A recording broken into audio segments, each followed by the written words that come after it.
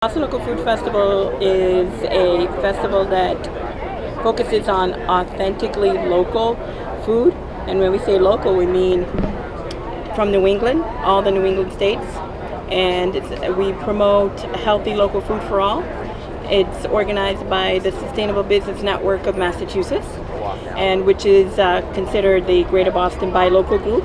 What we do, we had the vision for this, this festival was to actually look for ways to grow the local food system by celebrating the things we were already doing that was great because we felt there were a lot of people who didn't know how much great local food was available in Massachusetts. So we wanted to celebrate that, and it's worked because uh, the more we celebrate it, the more people want to add more local food to their recipes and their and their and their uh, uh, food service businesses. The more that people want to start food service businesses.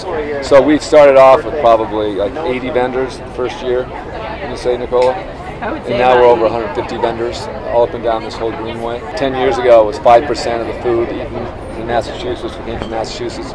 We're trying to move that up to 50% by 2060, but we're trying to get it up a percentage every single year. We feel like we're making an impact. It's hard to measure, but we know in terms of businesses, in terms of the way that institutions are purchasing, that there has been a big difference. This is our second year as a sponsor. We've worked with SBN on this and a few other events. Um, and it's a pretty good fit for our mission because we do we are a land conservation organization, but we um, own a few farms, including Appleton Farms, where this cheese is from Chestnut Hill, where our goats over there are from. Um, Powisset Farm in Dover, and what am I forgetting? Ipswich. Oh, Weir River, a farm in Hingham. Um, so we're highlighting those, but we also own 55 community gardens in the city of Boston. Um, so that's another way that our mission really ties into food and food access and local food production. We wanted to draw people over, so we used all local vegetables and fruits for our veggie prints.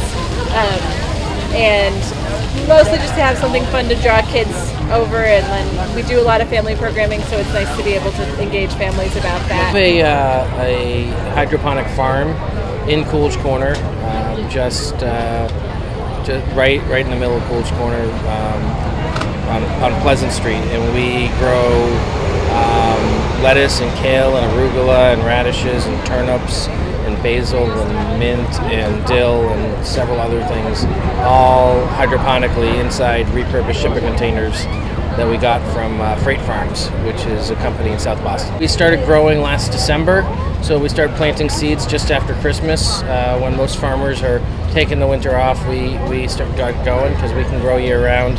Uh, so we have local greens all, all, year round. So it's our first time here, um, and we opened our store in July. I think it's really important to know where your food's coming from and to really uh, eat as local as you can, uh, to know your farmers, to know who's making your food. Uh, a lot of stuff that gets shipped all over the country and all over the world and it loses its nutrients. Um, it's so wasteful from an environmental standpoint. It's much more sustainable to be eating locally. The system is um, New England based, really. Um, if we can purchase 50% of our food by 2060, which we um, we are part of that vision and part of that movement, then uh, it would be great to be able to feed ourselves 50% uh, by, by that date. So we're, we're part of that movement and very much part of our goals. Um, it's good for the environment, it's healthy for the community, it keeps jobs and money circulating in the community by supporting local. So we're local first, and um, this festival is a way of educating the public as well as um, our vendors uh, about the uh, joys of eating local and supporting local businesses.